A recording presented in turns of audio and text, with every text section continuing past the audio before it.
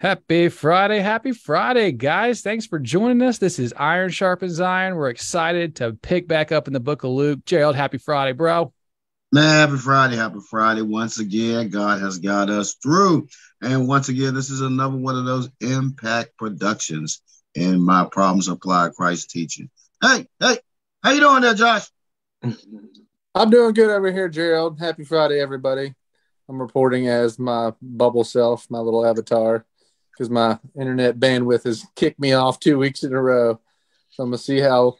I've just been praying, Lord willing, I'll be on here to dig into Luke with you guys. Excited about it. We're glad you joined Jimmy. us. Jimmy, yeah, how- man. Happy, happy Friday. I'm glad I'm here tonight. Um, I know the enemy was trying to keep us away from this, but I'm glad I, um, I'm able to join you guys and let's just speak about the, you know, the Lord and just let's let's go on let's let's let's get let's get it going. Let's get it going, man. God loves you. He's got a plan for your life. Let's start it off with opening in prayer. Who wants to volunteer to do that? Anybody? Jimmy, pray. Let's go. Yeah, Let's Let's go. do it. Thank you, Lord, for tonight. Um, thank you for bringing us together again.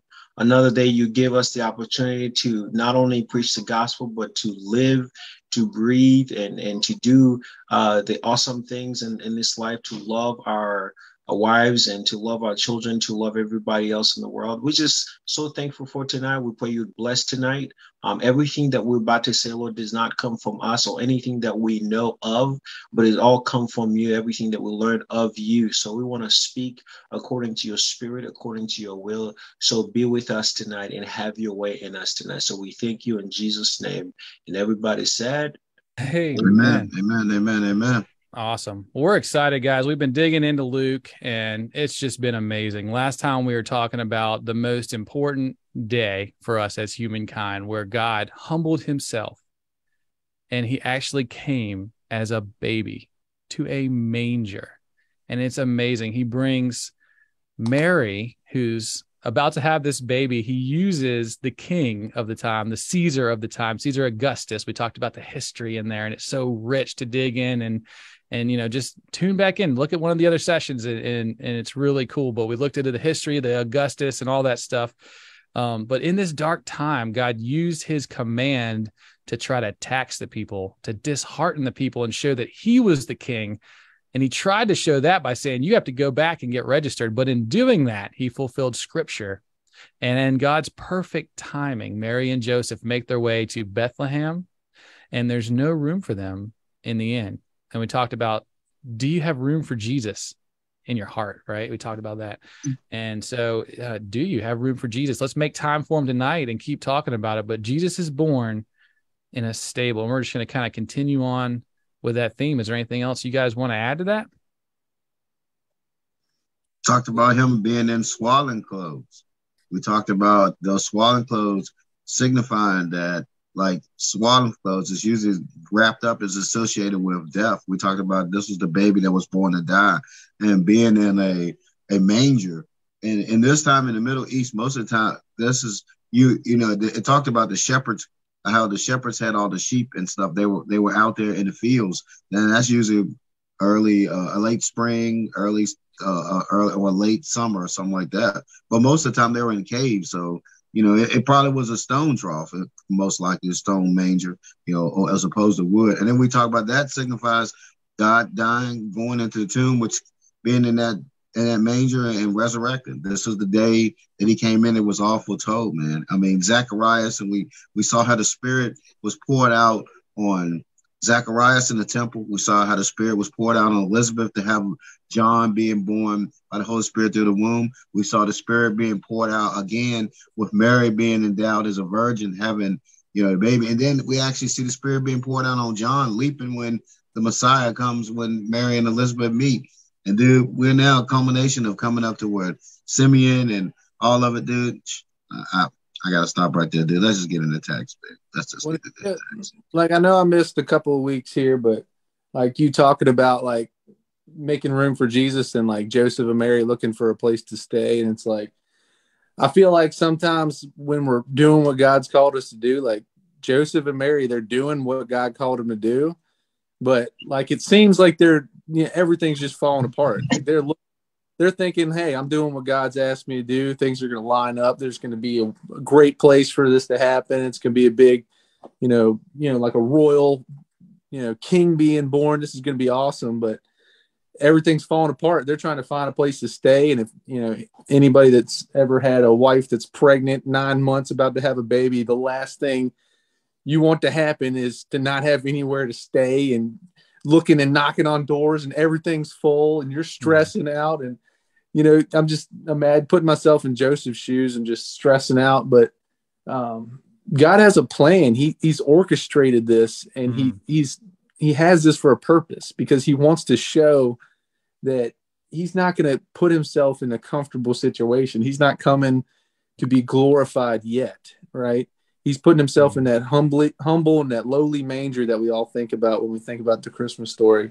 But I think sometimes like when we're following God's voice and we're doing what he calls us to, it's not always smooth sailing. Sometimes we run into roadblocks, sometimes we run into opposition and people that aren't willing to to work with us and a lot of the times it's our own you know close friends, it's our family, it's our church, you know, buddies, it's the people in charge of you know, running the church or the path. Like it can be all kinds of different people that run into your life and you know could seem like they're hindering you and you question God's calling on your life. But if God's called you to something, you know, you got to trust him and you got to trust that he's going to work things out. And maybe he has a, a different plan than we do. And it's not necessarily always that smooth transition. So I like to think about that when, when you're thinking about Joseph and Mary banging on doors late at night, trying to find somewhere to stay. Absolutely. And man, that's such, such a cool reminder that Jesus didn't come the first time to just judge and destroy. He came the first time to be a humble lamb, the sacrificial lamb. And how powerful that is that he's born in a manger. And now I think we're going to get into this next part where it's just going to be mind blowing the next thing that God does. And so, yeah, let's just go ahead. Let's go into this text right here. So, Luke 2, Verse 8 Now, there were in the same country shepherds living out of the fields, living out in the fields, keeping watch over their flock by night. Like you said, Gerald, if it's wintertime, they're probably not going to be out there living. No, no, no. It's early spring. And that messes with the nativity scene too. There's no three wise men. No three wise men. Yeah, we're excited to kind of get into that part too. But and behold, the angel, an angel of the Lord stood before them, and the glory of the Lord shone around them, and they were greatly afraid. Then the angel said to them, Do not be afraid, for behold, I bring you good tidings of great joy, which will be to all people. For there is born to you this day in the city of David a Savior, who is Christ the Lord. Hmm. And this will be a sign to you you will find a babe wrapped in swaddling clothes, lying in a manger. And suddenly there was with the angel a multitude of heavenly hosts praising God and saying, Glory to God in the highest, and on earth peace, goodwill toward men. So that's a good that's a good little place to start for tonight, I think. That's and, a good place to unpack. Good, good, good place to unpack. I wanted to so dig you, into the shepherds a little bit, but Gerald, I'll let you go ahead. I mean, look, hmm. we're, we're starting off with the shepherds. And like we talked before, the shepherds, look where we are. We're in Bethlehem. We talked about this before. Bethlehem is actually the place where the Passover lambs were actually grown. And hmm. actually, that's where the lambs were. And what the Lamb of God happens to be born right there in the same place. God does that. And, and we see him once again, God actually putting his autograph on us. He, the angel of the Lord goes to the actual shepherds and tells them about this baby. And you think about the shepherds, they probably seen babies before in swaddling clothes. That's probably the, the actual thing that's, you know, traditional there. But this is different because this baby is in swaddling clothes and this is the Lord because they're told by the angel that this is the Lord. And another thing, this baby is in a manger. He's in a mm. feeding trough. That's something that you don't see all the time. And to think about it, the shepherds, these are the ones in their society are considered the unfit, the unclean. Most of the time, they were cast out of the sh- out of out of the temple because they're working with the animals all the time. But these are the dudes of the humble dudes. These are what what better dude to come to inspect the Passover lamb or the Lamb of God, but the shepherds. And it's cool. They are the ones that God goes to, not the religious leaders, but he goes to the people, the, the shepherds, the ones that are shepherd. It's almost kind of like the, the, the imagery of God being the shepherd of us. So God went to the shepherds to inspect the shepherd that he had to shepherd over us, you know? And also, I think it's cool that, like you said, the shepherds are out in the field and their their job is to raise the sacrificial lambs for Jerusalem. This is an important thing because God said that it had to be without spot, without blemish. So they were used to inspecting the lambs that were born, and if it had a spot or a blemish, they had to, you know, do something else with it. They could keep it for a sacrificial lamb. So how cool is it that God chose to send the shepherds to see baby Jesus? Almost like you get to go inspect the baby first. You get to go check them out. And just that whole picture of this being a lamb, the perfect sacrifice for our sins. Well, and two, like just to kind of go with the theme of this whole book, and like we, we've been talking to, and Gerald kind of mentioned it, like he didn't come to the, royalty, like he didn't come to Herod in his palace. He didn't come to the the rich and the the well off and the well to do and the fanciest clothed people. He came to the shepherds that are sleeping in a field watching their sheep, right? These are the the poor people. These are the people that are out there not they're all kind of known as like the the sewage worker or something today. Like no one wants to be around them. They're dirty. Mm, they Trash, they haven't taken a shower, and like it just it just shows you like. And then they were out there doing what they were supposed to do, right? They were working as under the Lord. They're they're shepherding the sheep. They're guarding the sheep. They're trying to protect them and doing what the what God had called them to do. And those are the people that God uses. And so, you know, it's never think of yourself or what you're doing is not important enough or like that you're not big enough and you can't be used by the Lord because he used you know these these shepherds out here sleeping in a field to be the first ones notified after Mary and Joseph of course but to, to actually hey you guys are going to be the ones to see him and guess who they're going to take that news to? They're going to take it to the other poor people and the other downcast and the other people that are less fortunate they're going to take it to their friends and their family and that's who God wants to know. He he came for the sick. He came for the poor. He came for the weak to come and bring us and give us strength. And the humble will be glorified and and exalted. And then those those those high people, the Pharisees and the king, they're going to miss it because they're already been exalted and elevated in their own mind, and they're not in a position when they're ready to receive him. So it's good to remember to keep your heart in that humble place because that's who God's coming to that's who he's going to speak to, and that's who he's going to use. I think also, you know, it's it's the heart of of people. Um, sometimes, of course, I mean, most of the time, God doesn't really care about the the look, the appearance, or the be um, the behavior of a person, but it's the heart of the people that he he, he judged them by. Uh, uh, um, so if you look at look at look at a shepherd, um, as well as David, who not only a shepherd but also he protects. Like his, job was to protect little lambs. And as as man and woman in this world, sometimes you know the greatest people that you find in the world are those who actually um, put their lives up front to save um, the little children, who cares about the little children, who cares about the things that they're going through, because the world doesn't really care about children. The world doesn't care about anybody else. They, they, they care about themselves because they are lusting after themselves, after what they want, what they desire, money, material, whatever, whatever that that may be. But also, even those uh, people who are not even what we call Christian, sometimes have the heart towards the children where God sometimes use them. So it, it, it applies to the heart of, of, of man where we, we submit ourselves um, to the responsibility that God gives us as, as people, that our job is to protect, our job is to help, our job is to give ourselves unto others, because that's that's part of the law. So so when we look at a shepherd and we look at Jesus, it's almost the same the same picture because Jesus came not to to be served, he came to serve. Like you see a king as a servant, I mean, comes to us as a servant. It just it doesn't make sense, but that is the beautiful picture where God uses those who have the heart um, to to go help others in the world and and and to protect them, right? To bring them inside and to warm them up and you know just to help them. in a way.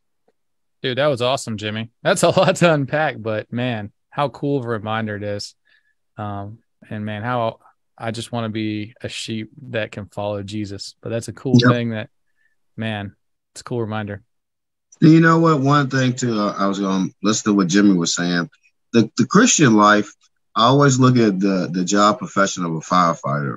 That's that's that's the Christian's job. Because think about it, that's a selfless job. Those guys, they're doing the exact opposite that most people do when there's a fire.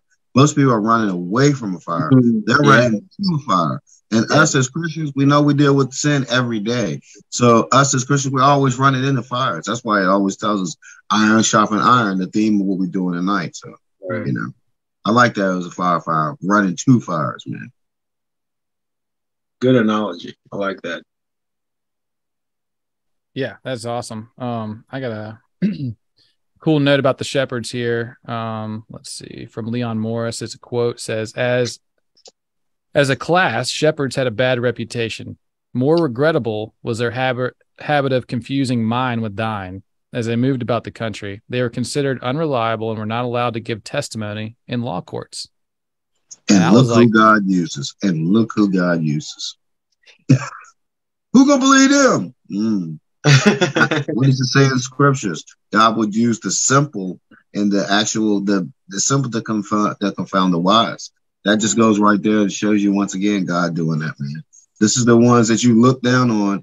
These are the people that most people would ha- that actually put their nose up in the air for because you know probably they stink. They're around animals all the time. You know this is what they do but their livelihood sustains actually the is a good part of the backbone of the economy with livestock, food, wool for clothes. I mean, you know, milk with the. I mean, dude, everything funneled to them. You know, it is wild that you would think they would be more respected, but yet they won't. Hmm. It's true. Verse 10, um, let's see. Oh, behold, the angel of the Lord stood before them, and the glory of the Lord shone around them, and they were greatly afraid. Then the angel said to them, Do not be afraid, for behold, I bring you good tidings of great joy, which will be to all people. This good tidings, the word is good news. Uh, another word would be the gospel. I bring you the gospel of great joy, which will be to all people. So here's something. This is going to get kind of deep, guys. I looked it up, right? This word for all is pas. It means each and every one of you. It means all, guys. All of you. it's for every single person out there. The gospel is for you. It doesn't matter what you've done, it doesn't matter who you were in the past, who you are right now. This message is for you. If you're tuning into this right now, God wants you to know the truth that Jesus came. The story is real. Jesus fulfilled the scripture. He died on the cross for our sins, yours included, mine, current sins, past sins, and future sins. We cannot earn our way to heaven. We need Jesus. If we believe that he raised from the dead and we believe that he is Lord, then you can be saved. That message is for you.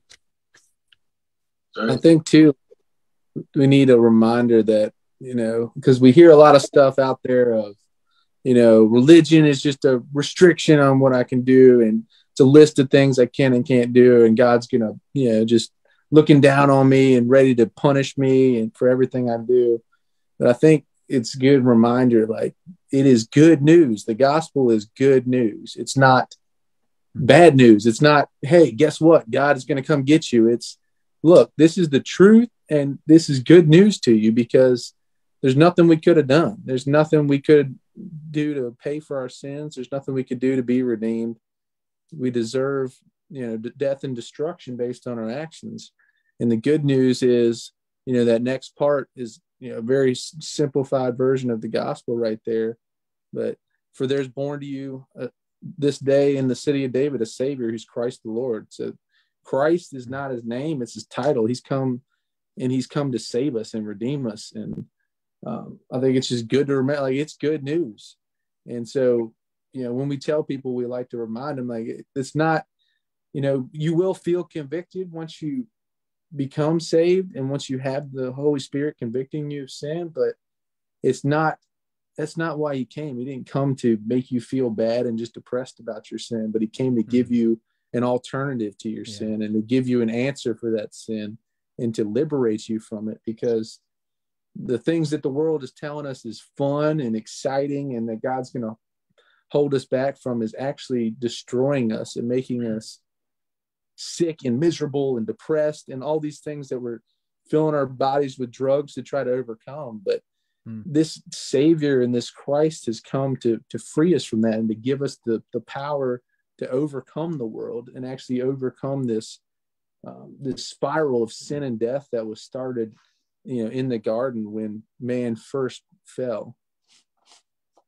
Amen bro that this is... I was I was thinking, man, this is also a good news, and and the angel came and and and talk about, hey, count this day joy, because mm-hmm. you know this is this is a blessing for those who wants to hear it, who who also wants to obey obey to that good news, but also count it as a curse for those who refuse to accept it, because how can I bring good news to you and knowing that it is a good news and to hear the word is a good news. And you have nothing to in a way uh, um, um, um, dis, dis, disqualify that news as mm-hmm. opposed to it's bad. But you can tell like the the holy spirit convicts you convicts you of it that is, it is a good news and yet um, you refuse it. So curse upon any man who hear good news and they just completely reject it and turn around to your old ways. Like that i mean it just it just like like for me you know we can count it as as as good news as joy but also for for many they just hear that and they're like man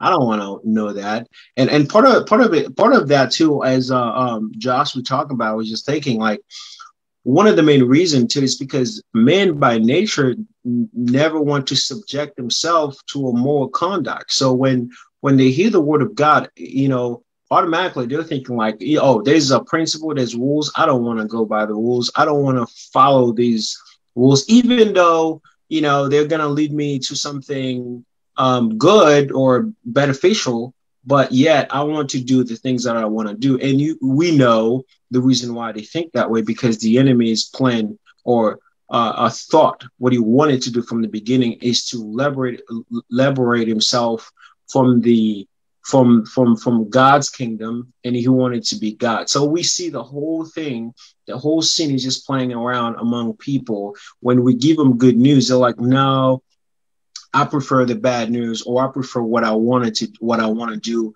or I enjoy what I'm doing because I don't want to restrain myself under some sort of moral conduct that will make me go to a straight pathway. I prefer to go the wide way, which makes me do whatever I want. And of course, the results of that is death because God says the penalty of, uh, of sin is death. So, and that's cool with what you just said. It goes along with the next line that said, as we were talking about, you know, being the the good news, and Jesus and the angel said, "Do not be afraid, for behold, I bring you good tidings and great joy, which is for all people.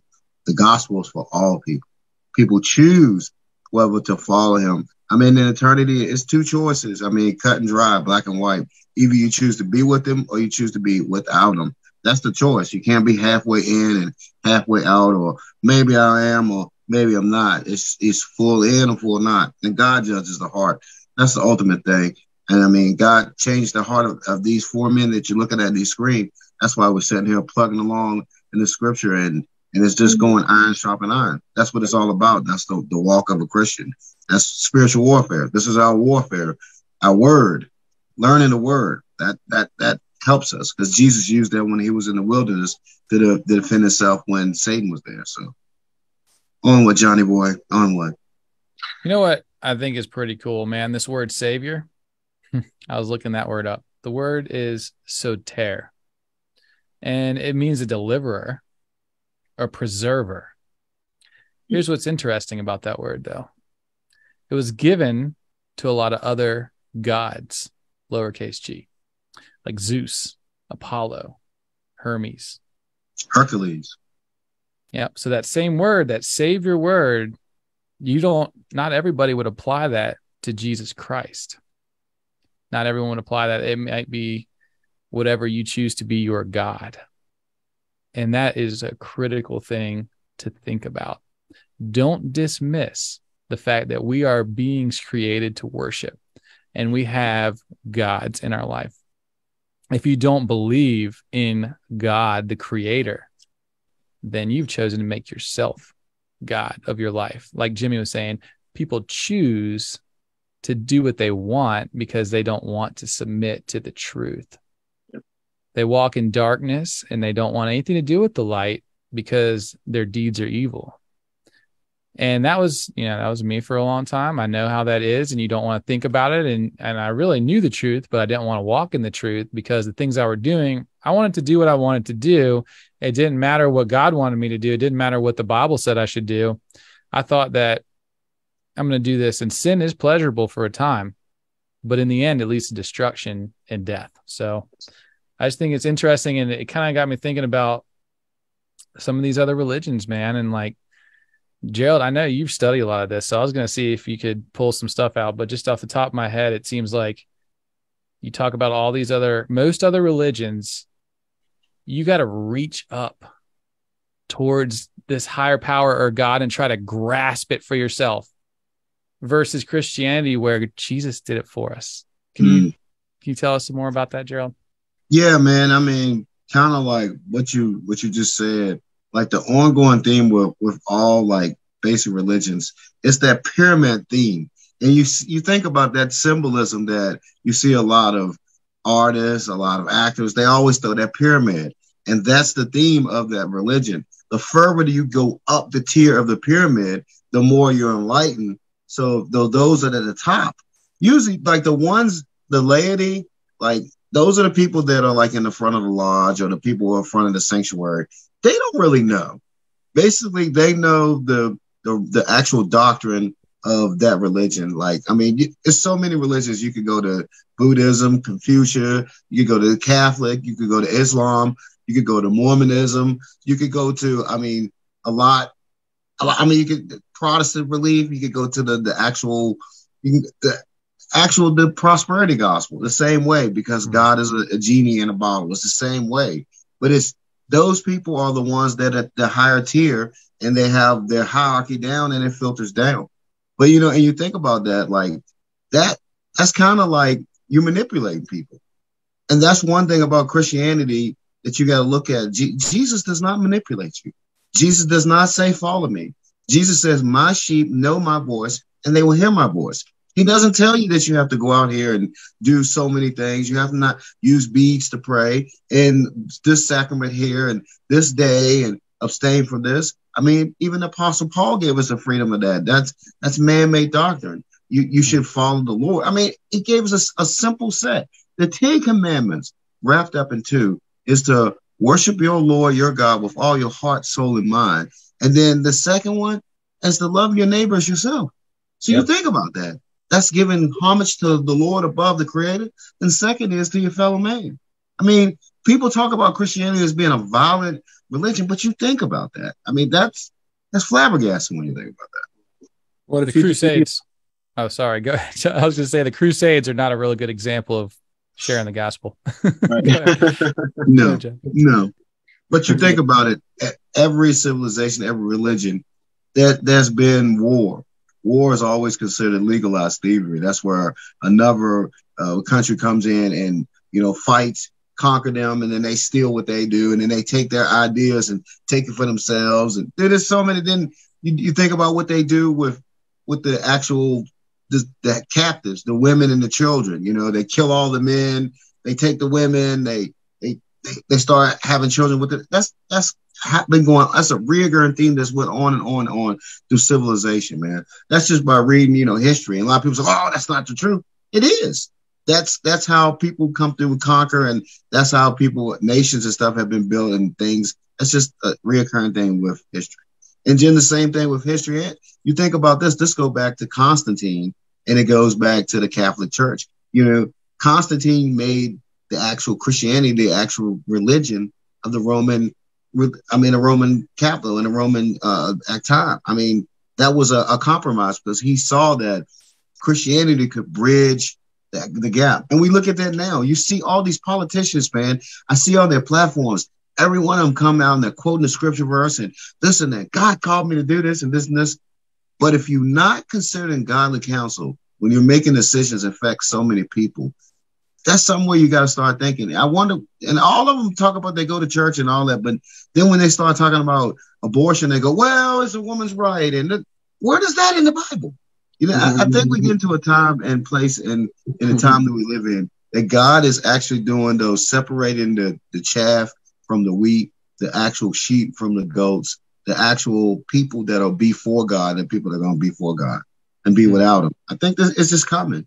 And I think God is calling that shepherd, like we're talking about. He's calling people. And you might be that person now that's in there listening to this. He's calling you. And this is simple, simplistic lifestyle. Because that's what Jesus said. The Son of Man did not have a home when he came here to do his ministry. He didn't have a home. He never had a home. Never. I mean, his, he was the man of sorrows, but he did it all for one purpose for us to have a way. Just like John wrote right there Behold, I bring you good tidings of great joy, which are for all people. He came for all people black, white, Chinese, German, French, Ukrainian, all people, Hawaiian, Haitian, Ethiopian, for all people. All the, people. And the Bible is probably the richest history book because it talks about the genealogy of every people, where they went, where they migrated, and how they got off just going and doing word study, dude, and enrich your whole understanding of what the Bible's telling us. God gave us mm-hmm. a, a treasure, a roadmap, basic instructions for living the earth. And dude, I just, to me, I encourage people, man, your personal Bible study is where a lot of people, I think, in the body of Christ is probably like really having the, the biggest thing. Because a lot of people go, it's hard for me to study by myself. Uh, you know, I get some more about being in groups. But think about what the scripture says. The Holy Spirit teaches you all things, not yeah. little bit of things, some things, but all things. You, your Bible, and the Holy Spirit in time, God can do wonders. Wonders, man. Hmm. Well, and kind of like um, what we were talking about before with like the, the different religions, like I feel like, you know, all the other different religions of the earth are created in our own image, basically, if we were God so we imagine here's Zeus. This is what God would look like if I was God. He's going to be striking people down with lightning bolts if they make yeah. me mad. He's going to want everyone to, you know, do all these rituals and make me feel great and because we're insecure as people. And so and then you also see that mixed with, you know, Gerald mentioned like Constantine, they mix in our own personal interests. So we say, all right, mm-hmm. Christianity is cool, but hey, let's add a few things that make it to where it makes me more powerful and more ed, mm. you know, elevated and gives me more control over you guys because I have a special understanding of God and you have to follow these special steps which fall into line with what I'm trying to do with with my government or whatever. But you know, the God of the Bible, like Jesus, that doesn't make any sense to us at all. Like it's Mm-hmm. completely contradictory to what we would do if we were God. We would not send our son to die for people that hate us. Yeah. We would not we would not structure it this way. We would not have this, you know, delighting in mercy for people that are just wicked and constantly annoying us. We would just strike them down with lightning. We would want their constant, you know, we'd want them to go destroy themselves in order to serve us. Like, you know, they have all these people that are killing themselves or blowing themselves up to try to serve their God, to do these works for them. And these are the things that we've built. And like John was saying, that Savior, whoever you choose, if it's yourself, then you end up putting these false gods that kind of just match what you would want to be in control of the world and make gods in our own image in order for us to kind of feel better about where we're at. Because, hey, my God understands. Um, kind of like when we were over in Israel, the tour guide um, was saying, you know, well the, the the jewish people they can't get in to to worship god in the way that they used to. And someone asked the question well you know how do you guys how do you guys feel about that? Like you can't go offer the sacrifices. And he was like well god understands you know that we can't really get there right now because of political situations. And i feel like that's kind of what what a lot of people do in their lives. They say well you know god understands this because i struggle with this or i feel this certain kind of way. So let me just change God's attributes a little bit so that I feel more comfortable doing the things I'm doing. But when we read the scriptures and we we study the scriptures like this this story of just complete counterintuitive to the, how we would set the story up and i think that's kind of cool to remember too when you see the different uh, the different religions in the world that's one thing that makes christianity unique is just that it, it's not the way that we would do it and it's very counterintuitive and you know god gives lays down his own life and and lays down his you know his own begotten son to do this and be in this humble state it's just very opposite to what a lot of religions are going after. Most most religions are man centric. It's man centric. Everything is man serve me, me, me enlightened. I'm more enlightened. More power to me. And that goes back to the fall in the garden. Think about what Satan did with Eve. He told her, God didn't say this. He, he, he created doubt and then he redirected he would be like, you will be just like gods. And that's the same lie that's told over and over in all these different religions. You'll be like gods. You'll be worshipped and this and you'll have power. And, and that's the same thing with Satanists, man. I mean, just like us just sitting there studying the Bible, do you better believe you bet your bet dollar that the, the Satanists are doing the same thing too. They're studying and all that stuff too.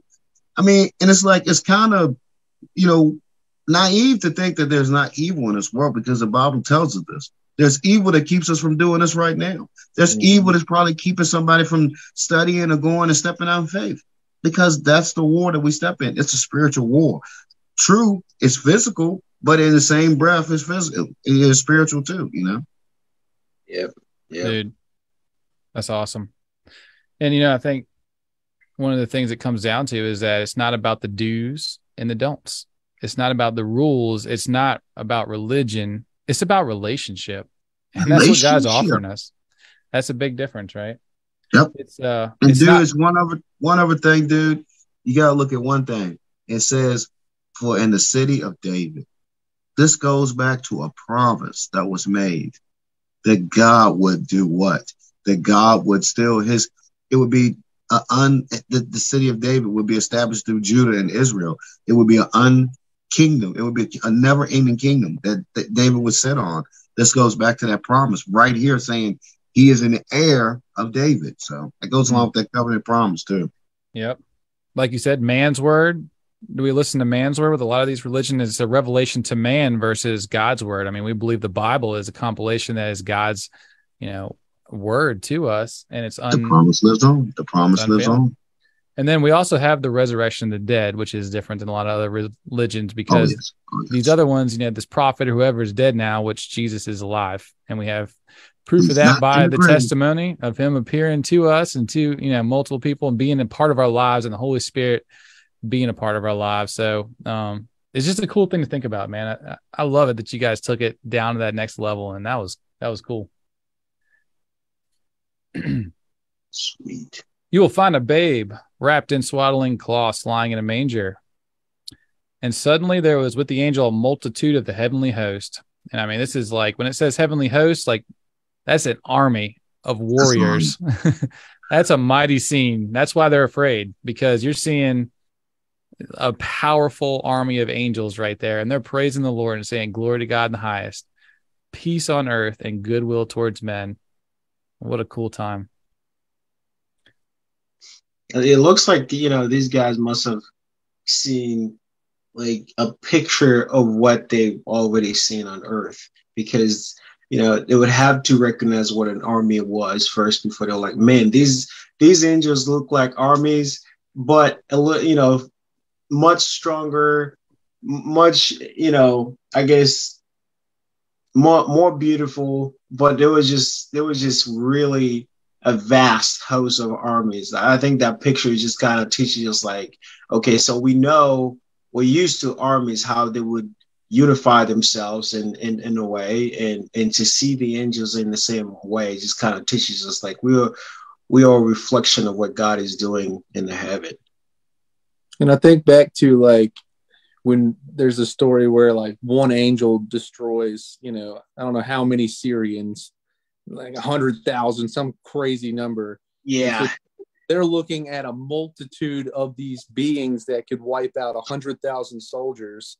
And it's this gigantic force, and it says the heavenly host which the Lord of hosts, that's that's the that's God's war name. That's his commander of the army name when Jesus comes back. He's the Lord of hosts. Mm. And he's in charge and the commander of this giant military, you know, uh, establishment to so to have them chanting there will be peace on earth and there will this is a peaceful time and having this giant military thing it's just kind of like this in goodwill towards men it's like this just awesome picture you know we can just imagine you know like a gigantic army and you know the commander is or they're all just chanting peace. There's peace mm-hmm. finally. It's just this victory is about to happen over sin and death. Mm-hmm. and it's just this amazing image that they got to see. But like you're saying too like they're scared of one. So imagine seeing all of them. That's just like mm-hmm. they're never going to be the same again. That's like a just a very powerful thing. So they're going to be telling telling everybody. That's it bro um so it was when the angels had gone away from them into heaven that the shepherds said to one another let us now go to Bethlehem and see the thing that has come to pass, which the Lord has made known to us. And they came with haste and found Mary and Joseph and the babe lying in a manger. Now, when they had seen him, they made widely known the saying which was told them concerning the, this child. And all those who heard it marveled at those things which were told them by the shepherds.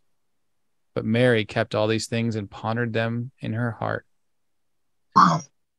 Lot to unpack right there, dude.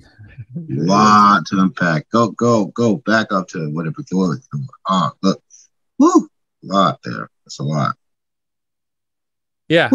And especially just the now guy. I love that part, man, where it's a good reminder to me all the time. When we when God tells us to do something, it's not like wait until morning and go see, man. We need that urgency, right? Like, mm-hmm.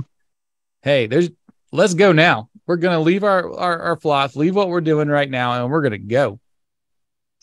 That worship session with the heavenly host worshiping, saying peace on earth, goodwill to to a man, and letting that, letting God know that this was a transition, like in music. This was the transition of of God putting His fingerprint on history. Mm-hmm. That was awesome to think about that. But you look at all the stuff that that are ha- that's happening right here, like you go down, they go. So the shepherds, they hear all this. They go and they go in there and they have this, the sign, the sign that they're going to see something rare. They're going to see a baby wrapped in swaddling clothes in a stone trough, which they don't see every day. That's a sign. So they were given the direction, a sign to go there. And they went to see it. And then when they seen it, they marveled because they knew that who this was. But I love the part where it talks about Mary. Everybody marveled. Everybody's marveled at this this point in time. But there's one person who's not marveled. It's Mary because we've already talked about Gabriel had already came and told Mary exactly what's going on. And it said Mary kept these things close to her heart. You know, and it goes back to Simeon, what Simeon had told her, you know, uh, yeah, that's yeah, we're gonna come upon that in our next study. No, it's just so much to unpack here, but it's, so awesome, unpack, right? Hmm. So much. And look who is the the actual progenitors of the good news. The ones that you don't think are the progenitors of the good yeah. news. That's the so shepherds. Cool. I wonder like, how long did it take them um, to, you know, run to Bethlehem, you know, or just I don't know, to find them. They probably was in the fields fields near there. The, and honestly, when you think about this, this actually could have been the fields mm. that go back to Ruth and Boaz. This actually could have actually been the fields near there because all that transpired about That's wild to think about the history. It's so rich. And, and like Josh was saying, you go to Israel and it's just like, wow, you're in Bethlehem, you can see these things. And yeah there's there's a whole lot that we can't even touch right there that we're going to figure out later that oh wow this was all connected and like you said gerald could be the fields with boaz ruth the foreshadowing these things like the kinsman hmm. redeemer the kinsman redeemer jesus is our kinsman redeemer yeah that's cool so the shepherds return glorifying and praising god for all the things that they had heard and seen as it was told to them so, I mean, that's amazing. And it's a good reminder to us that I mean, God could have used angels to share the gospel. He clearly could just send angels anytime he wants to anybody, and yet he chooses to use shepherds and he chooses to use us. Right. I mean, Right. he goes out of his way to make this relatable to other people as much as he can. Like, I'm nothing. I am a messed up dude. And when Jesus came in my life, he still saved me and cleansed me. And he gives the ability to read his word and study it and understand it and share it. And that's all it is. It's all the Lord. The Holy Spirit gives understanding, and that's all there is to it. Yep. None of us could stand here and understand any of this if it wasn't for God. So this is all a miracle that we can even tell you these things because I wouldn't be sitting here reading the Bible and doing a Bible study on a Friday night. I'd be out partying, you know, like if it wasn't for the Lord thing. intervening in my life and showing me, and this is such a better thing. And he's revealed that truth to me, but man, it's cool. It's cool. Yeah. And that goes back to that word you underlined very in the beginning. This is for all people. Mm. We are of that all people that God touched. And we're just trying to reach back out for all the people, all the people that have a willing ear, an ear to hear, or you know, a, a mind or a heart to change. God's a great cardiologist. He said to change their hearts. Yeah, I think I think uh, also just God using this shepherd.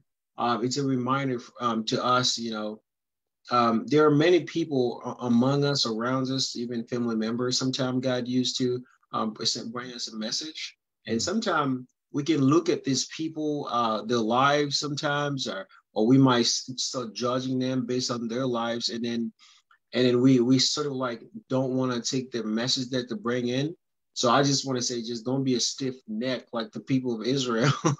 like, you know, you shut your ears, like, well, yeah, we know who you are. We, we know what you've done, blah, blah, blah. I don't think God would use you to bring me a message. You know, and we become the judgmental uh, while God is, is giving us a message. Sometimes, even with it in, in the church, like there are times where I would tell people a message that God give them um, you know, they don't take it lightly. They're like, eh, maybe, you know, I ate pizza last night, or maybe I ate too much food, some spicy food last night, which is why I had this sort of bad dream. To me, I just feel like, wow, like that's how you feel. Like you think I'm just gonna waste my time. Like I have a message for you, so I'm just gonna, I'm gonna make up a story so I can just come tell you, you know, uh, what's going on because I had some too much pizza or whatever.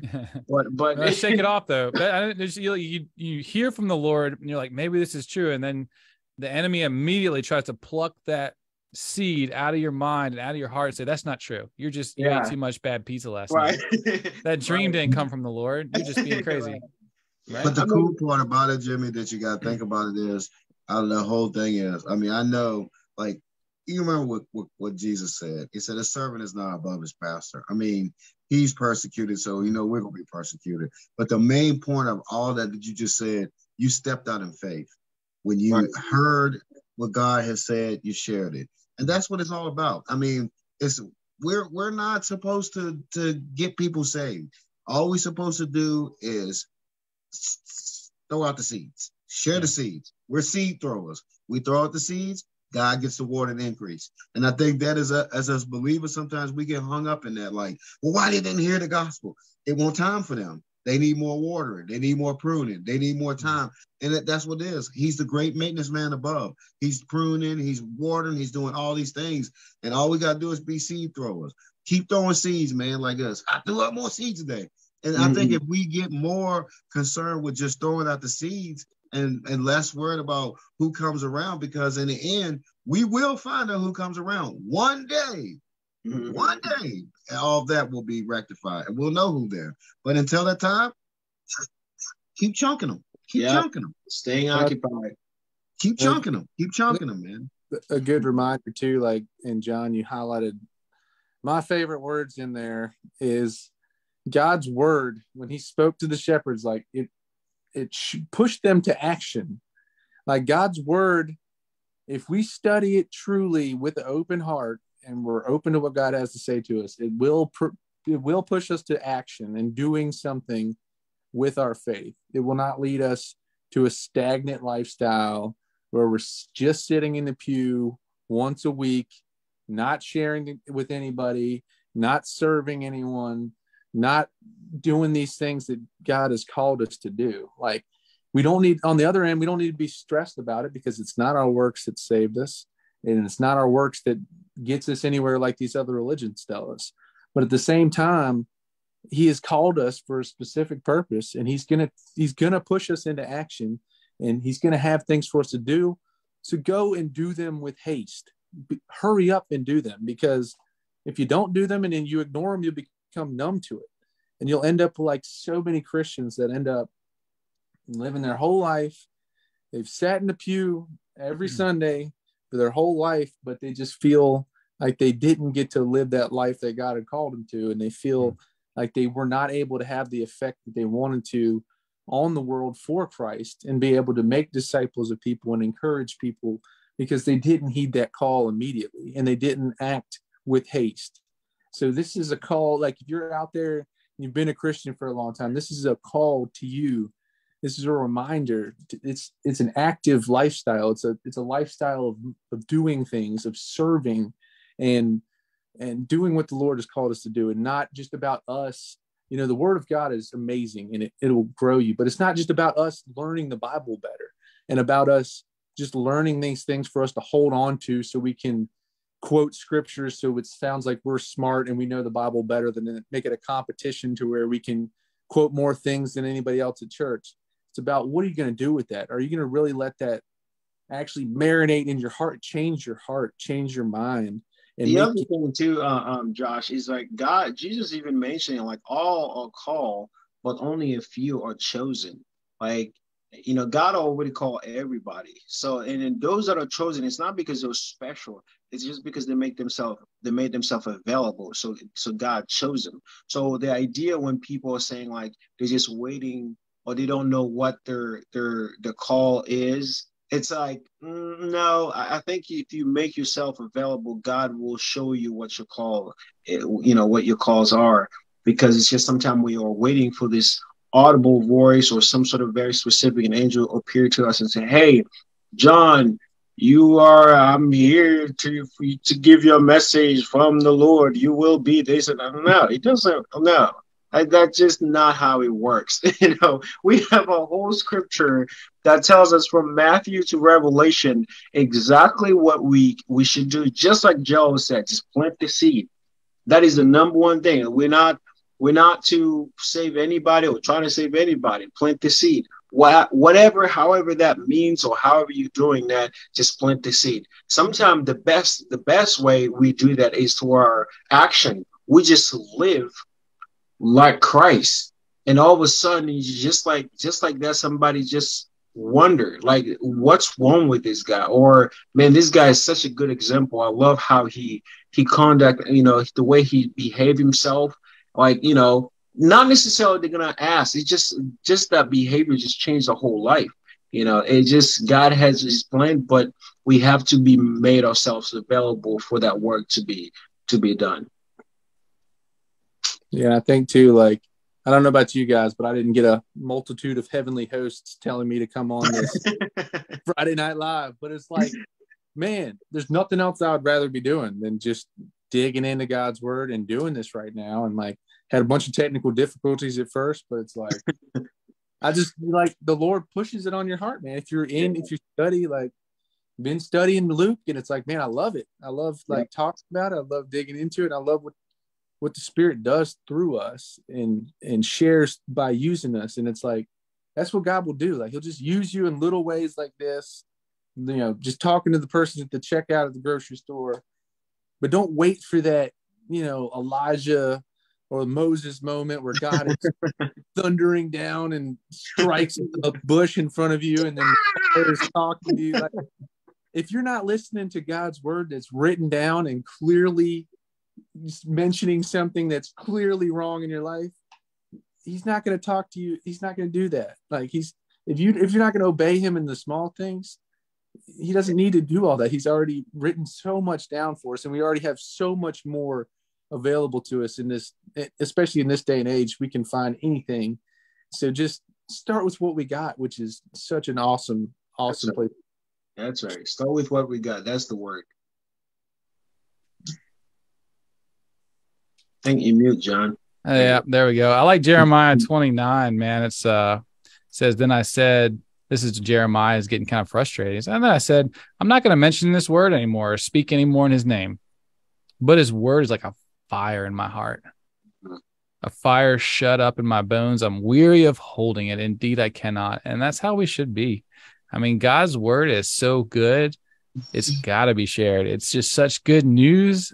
We got to share it, man, because it's the truth. God's revealed it to us. We understand it. And if anybody else can understand it, God can reveal it to them and we can just be a seed, like you said. So praise the Lord for that, man. I'll, I like First Corinthians 118. It says, The message of the cross is foolishness to those who are perishing.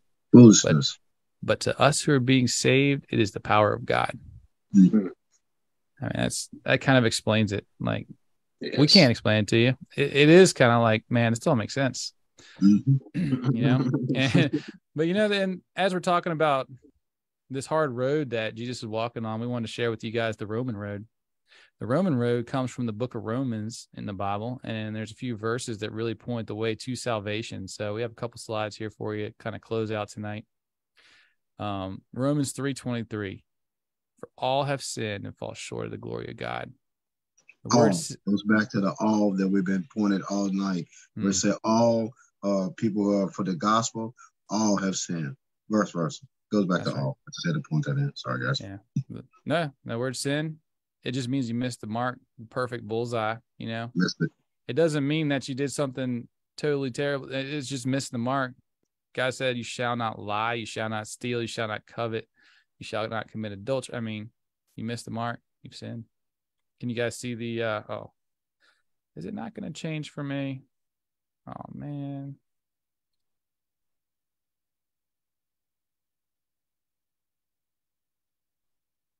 Well, it doesn't look like my Roman road slides want to change for me, guys. So well, in that case, you gotta go back and do the the elementary ABCs. Yep. Tell them, guys. Hey, admit that you're a sinner. So just like we've been talking about this whole time, it takes humility to do. It's the first step. You have to acknowledge the position we're in which is that, hey, we're sinners, we deserve destruction, and that God is the only path to uh, overcoming that through his son. D, believe that Jesus Christ came, died on the cross, conquered sin and death for you, but in the grave, three days in that tomb, conquered sin and death, all the scriptures and he resurrected on that third day. You believe that, you will be saved. And see, commit. Are you ready to commit? I mean, that's the thing for me is like, I'm 50%, I'm 60%, but I'm not quite there. And it just wasn't the same as saying, God, I give up. I can't do this on my own. It's all yours. Commit your heart, commit your life to Him, and He will take care of you and He will take care of everything. Surrender. So we commit to Him and we just give it to him and then you don't have to worry about it your sins are, are forgiven you and we know that we have a place in heaven and we're in the lamb's book of life if you guys are watching this right now we just encourage you to pray with us and let this be the night that you surrender all to him because he is the king of kings the lord of lords he's not coming back as a baby he's coming everybody back. gonna see him everybody mm-hmm. every eye every knee gonna bow and know that christ is lord what do you want to be doing when Jesus come back? You want to be working for him or you want to be working for yourself? That's a choice. I mean, we all have to work to pay the bills and all that other stuff, but we have to think about the sustainer, the maintainer, the creator, the mm-hmm. redeemer himself. All those factors, all ah, a blessed hope is coming back one day. One day. One day. Yeah. Also, if you want to know how he's coming back, just go read Isaiah 65, starting in verse 17 it doesn't look like he's coming as a baby. He's coming as a as a warrior, as a king, and he's coming to judge, and he will establish a new Jerusalem. And man, there will be no no babies that will die young. There will be nobody live a hundred years. It's like everybody, you know, he's serving are gonna live like trees for years and years and years. So you know, for those who are not part of this, uh, like he called the sinners, sinners will die. But in those days, those who are with him, they're, to live for him in, the, in that new Jerusalem forever. Now that's a good promise. That, yeah. That's a good news. And then if we die, we have everlasting life. So we're to have a new body and we're going to be with the Lord forevermore. And that's a promise that we need. Because you can see this world is not a place where we want to live forever and raise our kids and live. I don't want to live forever. That's a goal of a lot of people. Maybe we can create robot brains and transfer my consciousness to a robot and then reboot myself later and just live forever. No, like, no thanks. Dude, that is crazy to see the wickedness of that. There's a movie on Netflix. That's just what you said. It's called Chappie. It's a, a robot that they made as a police officer, and the dude gave it AI, artificial, and they figured out how to transcend to. And, it, and the actual dude died who made the robot, and he transcended his consciousness into another. Oh, dude, it's mm. crazy, dude. Yeah. That goes back to cartoons, man. That's the that is the that is the Eastern mysticism thought when man will be able to uh, sustain himself forever. You know, eternal life. You know, the fountain of life. You know, Cortez. You know, looking for that fountain of life. The fountain of life is eternal life. Is only in Christ. You know? That's right. That's it. So pray with us, guys. And thank you for joining. Thank you for tuning in. Please do like, share this stuff with anybody that you know you can.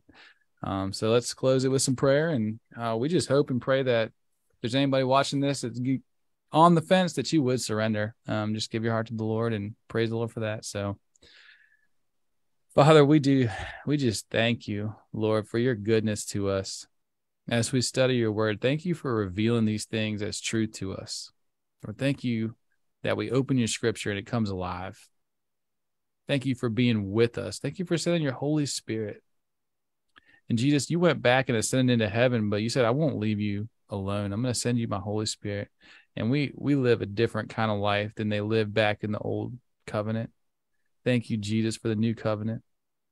Lord, we pray for any tuned in tonight, God. Bless them and help them, Lord.